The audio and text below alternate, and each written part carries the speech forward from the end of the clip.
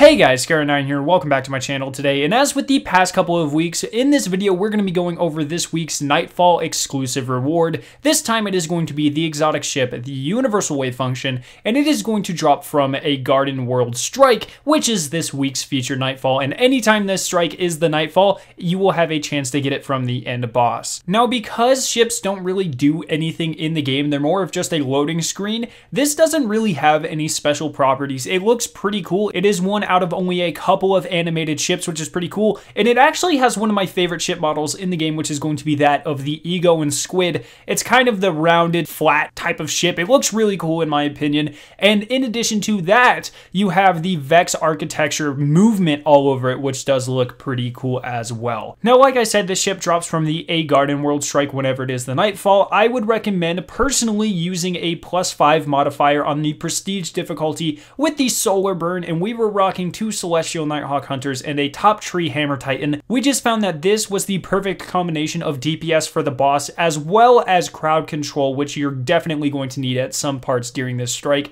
and honestly, it's not that difficult. As with past weeks, Bungie has confirmed that more points does equal a higher drop chance, so if you have a good enough team, I would definitely recommend running it on Prestige and just keep farming it until you get the ship to drop. So what do you guys think about this ship? Let me know down in the comment section below. As as with the other things, I most certainly would have rathered another weapon or another armor piece. I understand the constraints of development time though, so I'm going to let this one slide, but I am definitely going to say this is probably my least favorite out of any of these strike specific rewards, mostly for the simple fact that in Destiny 2 you no longer have to return to orbit, so you no longer see your ship all that much. So it's kind of a wasted loading screen. You don't really get to see it that often. At least it's a cool looking ship, but like I said, I much rather would have had something else drop. So once again, let me know what you guys think about this down in the comment section below. I hope you guys did enjoy this video. If you did, make sure to leave a like rating and share it with your friends. If you are interested in watching either of the two videos on screen, you can click their respective invitations to be taken to them.